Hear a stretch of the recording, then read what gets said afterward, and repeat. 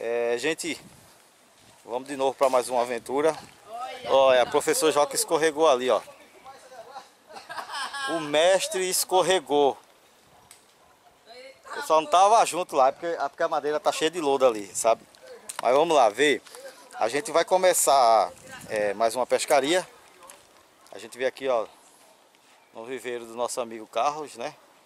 E a gente veio levar hoje camarão não, nós vamos levar saúna, só saúna. Não sei se ele vai conseguir pegar, porque ele pediu até para que a gente desse uma ligadinha antes, para ele poder pegar essa saúna, que essa saúna elas correm muito aqui no viveiro, aí fica difícil de pegar.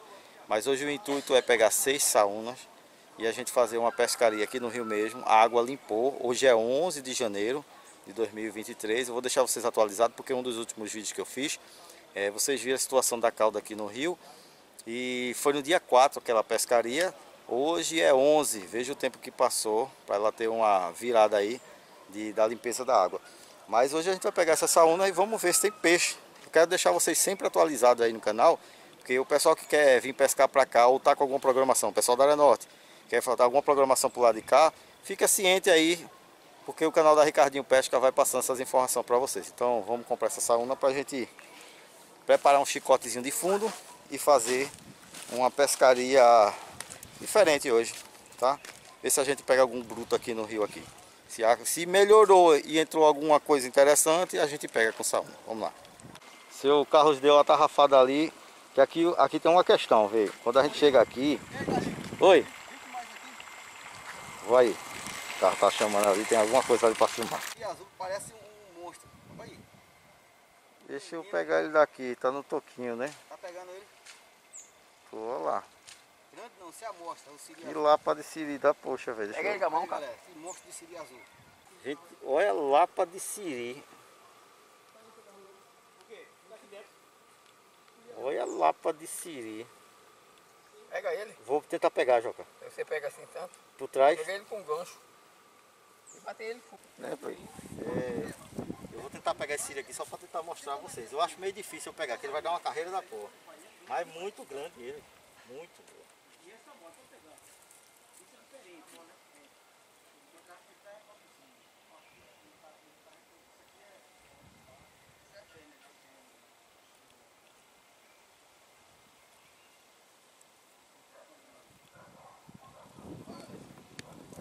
Um mordeu. Nada.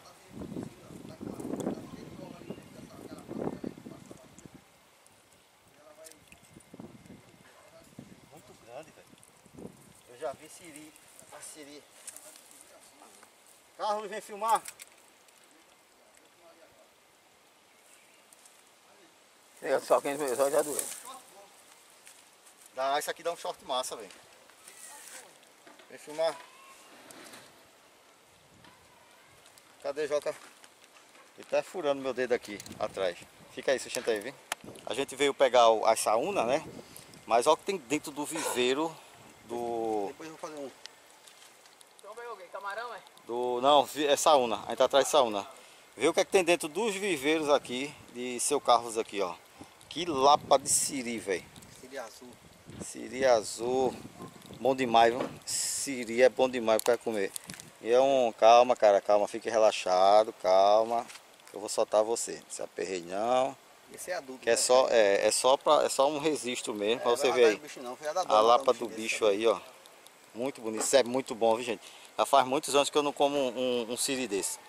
Faz muitos anos mesmo. E antigamente, quando eu era mais novo, que eu pescava muito no rio, mais menino, a gente entrava no rio só para pegar esse siri. Mas ver a lapa do siri, velho. É muito, muito, muito bonito ele. Olha aí, bicho com a pata aberta. Aí, assim. É, olha pra aí, Carlos. Que massa, velho. É um macho, né, Carlos? Eu não tô nem olhando daqui, que a câmera não tá, não tá me procedendo muito aqui. É o macho. É um macho, né? É. Bem, Ele pesca e. e, e... peça de anzol mesmo, mas dele é mais assim, é peça de mão. Aham. Olha, a gente soltou ele, ele lá embaixo lá. Lá embaixo. O bicho é tão grande que. Bicho grande da porra. Quando eu olhei assim, Nunca mais eu vontade vi, faz muito tempo que eu não vejo um siri assim Também desse desse tamanho. tamanho não, eu já peguei pequeno. Aqui tem saúna. Nesse viveiro tem saúna também. Só que tem uns troncos aqui, quando ela vê que você dá a tarrafada no canto, elas correm para debaixo do tronco e ficam intocadas. como a água aqui tá um pouco barrenta, a gente não consegue nem ver onde elas estão, tá vendo? Tem um tronco até aqui, ó. Então ele não tá conseguindo, já deu várias tarrafadas aqui, não conseguiu. Aí a gente vai ter que levar as opções que tem mesmo. Eu tô com isca artificial ali, tô com um bocado de coisa ali. Fundo sem boia, sem nada, o camarão. O camarão é da bagre. Não, mas mais. O, o robalo come. Se parado que vai roubá-lo, ele no camarão. É, mas a, a, é por isso que eu não gosto de arriar camarão embaixo de fundo, por causa disso. Porque se eu botar saúna, eu sei que o bagre não pega. Mas se botar camarão, o bagre vai logo em cima.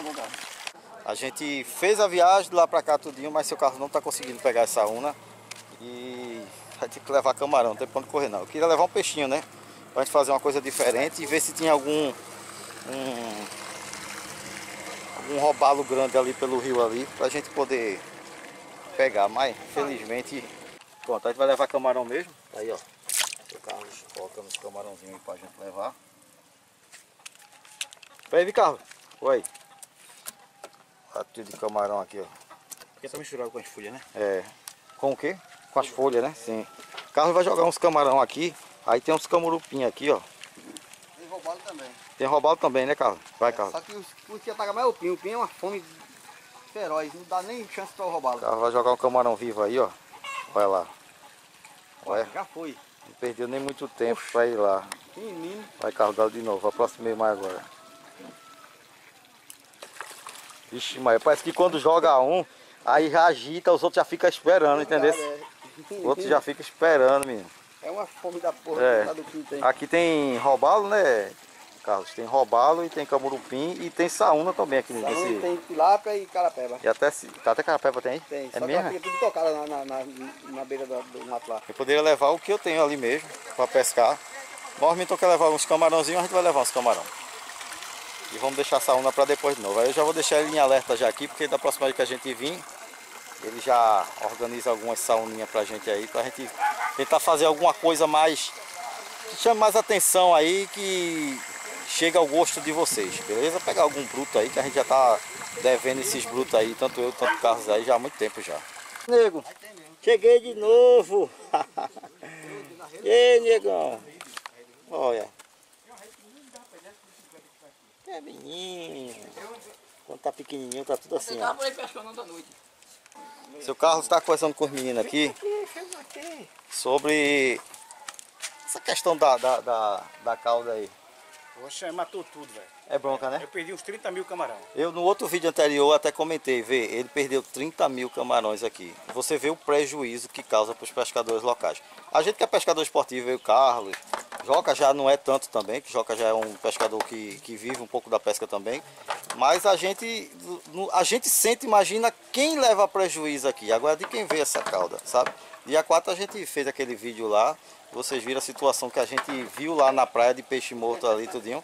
Aí seu Carlos que vive da pesca, que vive aqui, o que é que acontece? No caso a água entra todo no seu viveiro. Né? Entra pro viveiro e mata, fica sem oxigênio a água, né? A água fica sem oxigênio. E mata tudo. Mata tudo. Deu prejuízo. Este camarão o senhor, o senhor está com quanto de camarão aqui hoje? Uma média mais ou menos? Eu estava na média de 70 mil, perdi 50%. 50%. Precisa falar mais? Eu acho que nem precisa, é só para vocês terem uma ideia da o que a cauda faz aqui. Agora a gente pede assim, sabe, as autoridades, o IBAMA, que possa levantar essa fiscalização mais profunda e tentar evitar, porque isso não é de agora e a gente sabe que isso vai acontecer novamente. A gente é, sabe. É, é, né? Choveu, né? Tá preparado para chover, os caras soltam. Eles aproveitam, é, aproveita essa, a água da água chuva. Barrenta. É e solta. E solta. Mas mesmo assim, ou então uma maré grande. Quando tá aquela maré alta é, grandona, é. aí eles vão e soltam, né? E soltam. Isso é o que? Uma, eles lavam, é. eles fazem umas lavagens. De, da usina, né? Da Alguma coisa da calda né? da usina, aquela que vem, que não serve pra nada, né? Não eu serve acredito pra nada, eu. Ele...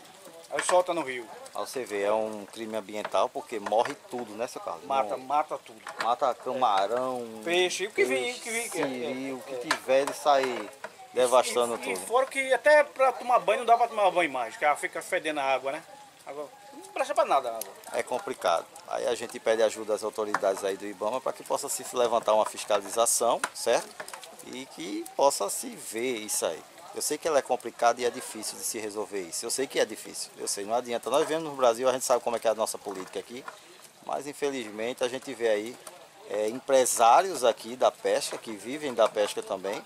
E tá aí, ó, em situação de prejuízo. Ele é um dos, viu? Porque se eu for fazer uma entrevista realmente aqui com a maioria dos pescadores aqui de Barra de Jangada, Associação de, de, de, Pesca daqui de Barra de Jangada, a gente vai mostrar a realidade realmente nua e crua como realmente isso acontece. Infelizmente isso está acontecendo nos nossos rios, já acontece já há muito tempo e eu acredito que isso ainda vai continuar. Ó, a Ricardinho Pesca tá, continua nas suas pescarias e quando vier a próxima cauda, eu vou estar de olho e vou estar comunicando aqui no canal, beleza?